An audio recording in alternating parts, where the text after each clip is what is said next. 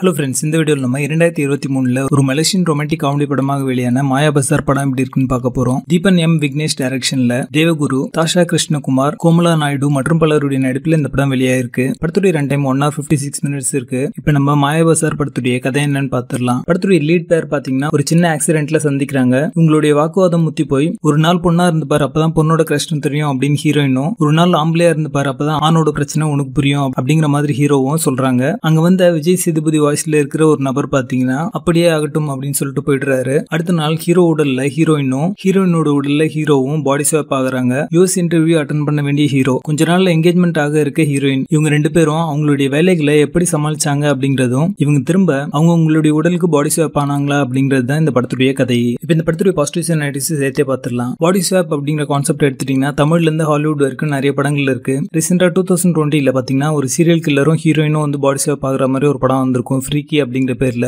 அந்த படத்தை நம்ம ஆல்ரெடி ரிவ்யூ பண்ணிருக்கோம். லிங்க் ஐ கார்டில் கொடுக்குறேன். செக் பண்ணி பாருங்க. இந்த படம் பார்க்கும்போது எனக்கு டூ தௌசண்ட் சிக்ஸ்ல வெளியான it's a boy girl thing அப்படிங்கிற படம் தான் ஞாபகம் வந்துச்சு. இந்த படத்தில் இருக்கிற நிறைய சீக்வன்சஸ் பார்த்தீங்கன்னா அந்த படத்துல இருந்து இன்ஸ்பயர் பண்ணி வச்சிருப்பாங்க. இந்த படத்துக்கு பெரிய பிளஸே பார்த்தீங்கன்னா காமெடி சீக்வன்ஸ் எல்லாமே ரொம்ப நாளாவே ஒர்க் அவுட் ஆச்சு அப்படின்னு சொல்லலாம். இங்க வாய் விட்டு சிரிக்கிற மாதிரியான காட்சிகள் நிறையவே இந்த படத்துல இருக்கு. இந்த படத்துல லீட் பேருடைய அந்த பர்ஃபார்மன்ஸும் சப்போர்ட்டிங் ரோல்ஸ்ல அவங்களோட ரெண்டு ஃப்ரெண்ட்ஸா நடிச்சவங்களுடைய பர்ஃபார்மன்ஸும் பார்த்தீங்கன்னா ரொம்ப நல்லாவே இருக்கும். அவங்களுடைய கான்வர்சேஷனே பார்த்தீங்கன்னா ரொம்ப இன்ட்ரெஸ்டிங்காகவும் எங்கேஜிங்காகவும் இருந்தது பார்க்கறதுக்கு. லீட் பேர் ரெண்டு பேருமே பாத்தீங்கன்னா அவங்களுடைய பெர்ஃபார்மன்ஸ்ல அந்த வேரியேஷன் வந்து ரொம்ப நல்லாவே காமிச்சிருப்பாங்க. ஹீரோயின் பாத்தீங்கன்னா ஒரு ஆர்த்தடாக்ஸான ஃபேமிலி சேர்ந்தவங்க ரொம்ப பணிவான பொண்ணா இருப்பாங்க. இவங்க பாடி ஷேப் பண்ணதுக்கப்புறம் அவங்களோட ஆக்டிங் பாத்தீங்கன்னா வேற லெவல்ல இருக்கும். இந்த படம் முழுக்க பாத்தீங்கன்னா அவங்களோட சாம் பர்ஃபார்மன்ஸ் அண்ட் ஹியூமர் போர்ஷன் மூலமாக இந்த படத்தையே ஹோல்ட் பண்ணிருக்காங்க அப்படின்னு சொல்லலாம். ஹீரோட கேரக்டரைசேஷன் எடுத்துட்டீங்கன்னா எதுவாக இருந்தாலும் மூஞ்சிக்கு நேராக பேசுற ஒரு நபரா இருப்பாரு. போல்டான டிசிஷன் எல்லாத்தையும் டக்கு டக்குன்னு எடுக்கிற ஒரு நபரா இருப்பாரு. இவங்க பாடி ஷேப் ஆனதுக்கப்புறம் பார்த்தீங்கன்னா பாத்தீங்கன்னா அவருடைய ஆக்டிங்ல ஒரு நளினம் வந்து காமிச்சிருப்பாரு. அதெல்லாம் பாத்தீங்கன்னா வந்து காமிக்கலா இருக்கும் பார்க்கறதுக்கு இவங்க ரெண்டு பேரும் பாடி ஷேப் ஆனதுக்கப்புறம் ஒவ்வொருத்தரும் ஒவ்வொருத்தருக்கும் இருக்கிற பிரச்சனைகளை எப்படி தீர்த்து வச்சாங்க அப்படிங்கறத ரொம்ப நல்லாவே இந்த படத்துல சொல்லியிருந்தாங்க. குறிப்பாக ஹீரோயினுடைய பிரதர் பிரச்சனையை வந்து தீர்த்து வைக்கிறது. அதுக்கப்புறமா இன்னொரு சீக்வன்ஸ்ல பாத்தீங்கன்னா ஹீரோயினோட ஆபீஸ்ல ஒரு நபர் அவங்கள அரெஸ்ட் பண்ணிட்டு போயிருப்பாங்க. அவங்க அரெஸ்ட் பண்ணாங்க அப்படிங்கறதே இவருக்கு வந்து புரியறதுக்கே கொஞ்சம் நேரம் ஆயிடும். ஏன்னா இவருமே ஒரு பையன் அப்படின்றதுனால அவருக்கு அது தப்பா தெரியாது. அவர் ரியலைஸ் பண்ணதுக்கு அப்புறம் அவனை எப்படி பழி வாங்கினார் அப்படிங்கிறது ரொம்ப நல்லாவே வந்து சொல்லியிருப்பாங்க. இருந்தாலுமே அதுல சில சவுண்ட் எஃபெக்ட் எல்லாம் போட்டிருப்பாங்க. அதை தவிர்த்திருக்கலாம். அது வந்து முகம் சுழிக்கிற மாதிரி இருந்துச்சு. இந்த படம் நம்ம பார்த்து பழக்கப்பட்ட ஒரு கதைக்களம் தான். படம் ஆரம்பிச்சு இப்படிதான் முடியும் அப்படிங்கிறது நம்மளுக்கு